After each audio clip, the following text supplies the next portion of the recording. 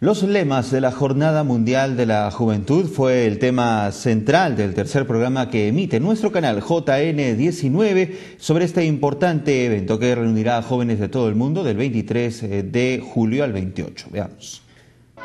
A pocos días del inicio de la Jornada Mundial de la Juventud, JN19 emitió la tercera edición del programa especial donde se conocen todos los detalles de este importante evento que reunirá a miles de jóvenes con el Papa Francisco en la ciudad brasileña de Río de Janeiro.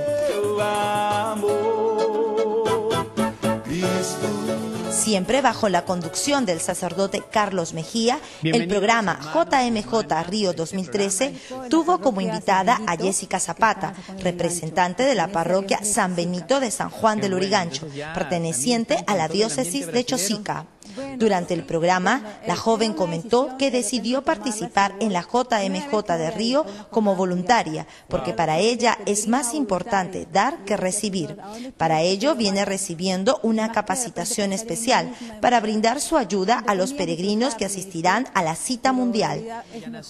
El tema del programa fue los lemas de las jornadas mundiales, desde la primera edición en Roma convocada por el Beato Juan Pablo II en 1986 hasta la convocada por Benedicto XVI en Río. Se analizó el significado de estas citas tomadas de la Biblia, en especial del libro de Juan.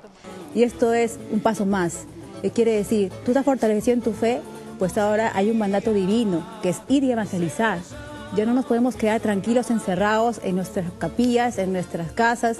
Ya no, ya no podemos esa, esa, esa tranquilidad, entre comillas, sino es salir a dar a conocer al Señor. La Jornada Mundial de la Juventud se desarrollará del 23 al 28 de julio. JN19 se encuentra listo para difundir en vivo a través de sus diferentes espacios los incidentes de la Jornada Mundial de la Juventud.